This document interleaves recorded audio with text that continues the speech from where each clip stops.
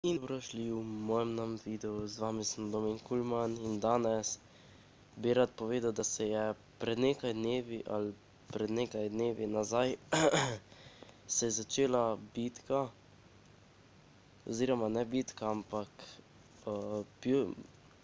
se je začela nekakšna bitka med PewDiePiejem in T-Seriesom pač, ki se borita med seboj in pač ne vemo, kdo bo zmagal, pač veliko live streamov, eni so že naredili Unijo. Kot že vidite, samo gor pa dol padajo supi njima dvema. Pač to je en primer.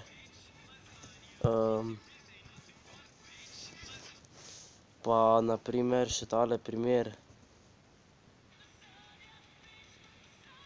Pač tukaj se pa tudi isto, gor pa dol jima padajo supi. Pač tu gor pa dol.